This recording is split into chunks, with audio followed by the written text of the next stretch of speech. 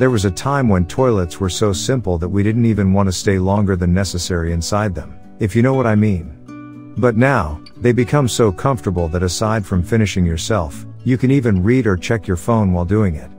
In the center of all, what makes it possible would be the invention of flush toilet. In this video, we are going to explain how a flush toilet work. So if you are thinking about going to the bathroom, you can bring your phone and learn about toilets. If we look at a flush toilet, there is a toilet seat called bowl that we can sit on, and a tank at the back that stores water for flushing. Toilet seat has two covers. Open the first cover for number 2 and second cover for number 1 but only for men. Second cover is also used to drip down the leftover water droplets. After you finished, pull down the flush switch and all the water in the tank will flow down, bringing everything you put in the bowl. When the tank gets empty, water will fill automatically. The bowl will also be filled with little bit of water. Because of that water that left inside the bowl, the smell from the sewer won't reach the toilet.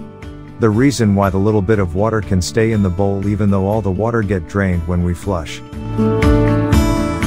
is because of the unique S-shaped path of the bowl.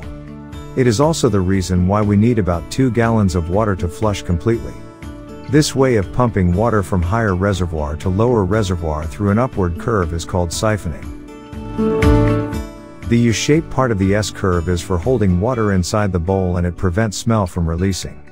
When you pour the water inside the bowl, the excess water will just overflow, leaving the U-shape filled as it was before. But if you pour enough water to fill up the entire S-shaped tube, the siphon process will start. When the water at the end of the tube wants to flow down by gravity, it creates the vacuum inside the tube. It is like pulling the syringe while closing its tip with your finger.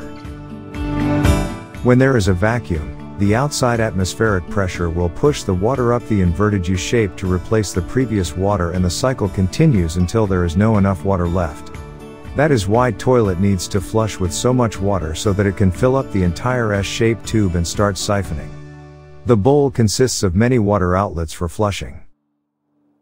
The main outlet is called siphon jet that provides enough water for siphoning. The other tiny outlets that clean up the bowl surface are called rim jet. When we pull the flush switch, the water inside the tank drains through both siphon jet and rim jets. As a side note, sucking the oil from a motorcycle and let it drain inside the bottle is also called siphoning. Since the 2 gallons inside the toilet tank gets drained every time it flushes, in order to refill the tank, the inlet pipe is connected to the main water storage located at certain height. By doing so, the water can flows down automatically and fills the tank.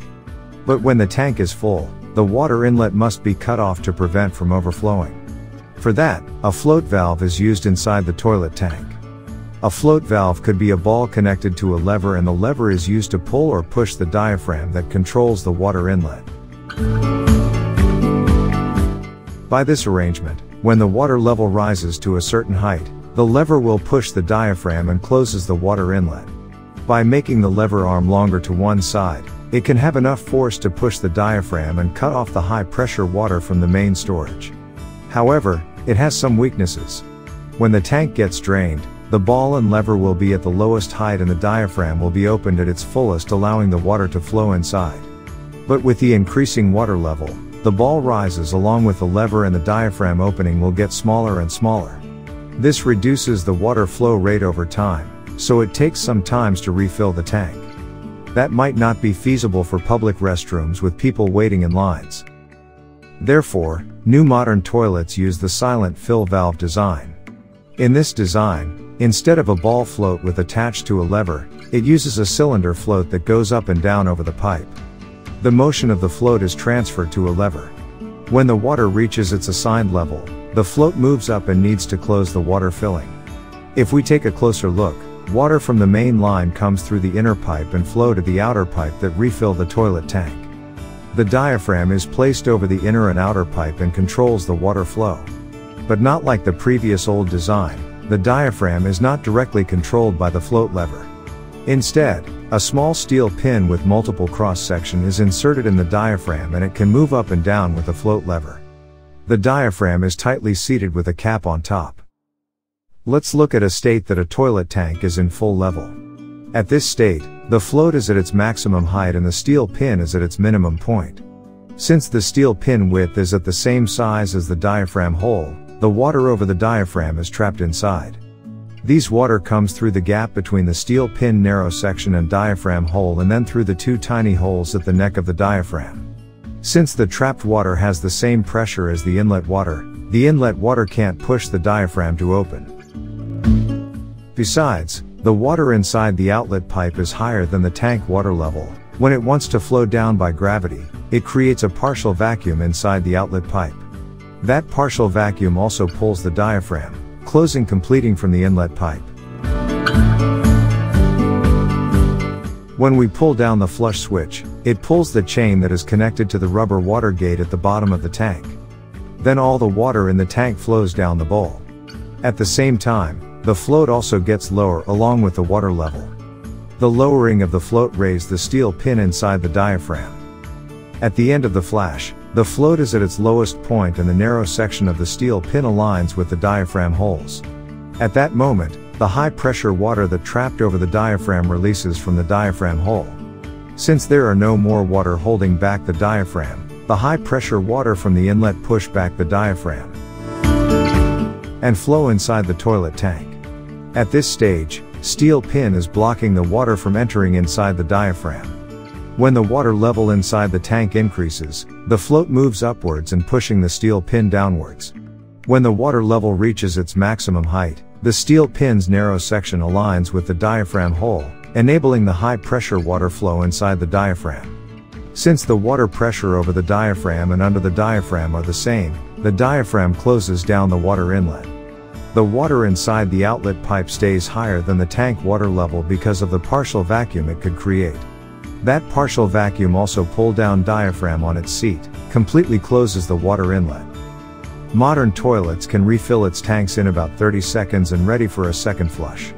At this point, you understand how water ins and outs of the toilet. To refill the bowl, the bowl refill tube is connected to the outlet pipe and is attached to the overflow tube. By doing so, while the tank is refilling, some water goes to the bowl refill tube and fill up the bowl overflow tube is directly connected to the bowl. And, for some reason, if the silent fill valve failed to close the water inlet, the increasing water level will be drained through the overflow tube to the bowl. One thing to note is, the bowl refill tube and overflow tube must be some distance apart. Otherwise, if water overflowing happened, the increased water can get in touch with the bowl refill tube that leads all the way towards the main water storage.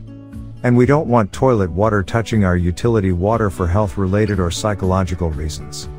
Also, we must set the tank refill level lower than the overflow tube so that no water is wasted unnecessarily. We can set that water tank level by adjusting the float screw up or down. Now, we hope you understand how a toilet works.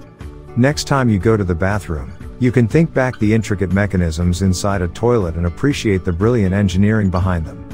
To learn more interesting topic like this, please subscribe our Quasar Ed YouTube channel and hit the notification bell to remind you our next video. You can also tell us what you want to know in the comment section.